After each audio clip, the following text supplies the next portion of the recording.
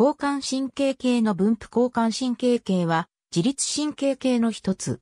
闘争と闘争の神経、またはさらに末梢のシーゼン神経節に至り、ここで次のニューロンに交代して、末梢の高架器に分布している。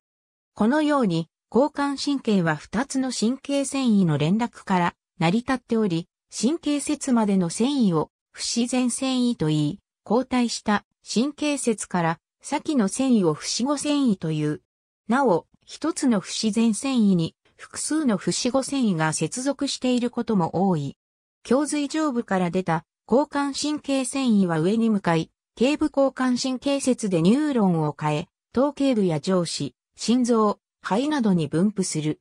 一方で、胸髄中、下部の繊維は大内臓神経、小内臓神経などとして、交感神経幹を通過し、腹部の腹腔神経節などでニューロンを換えて、腹部の臓器に分布する。また、腰髄上部からの交感神経繊維は、腰内臓神経を伝って、下腸間膜神経節に入りニューロンを換え、腹部から骨盤部の臓器に分布している。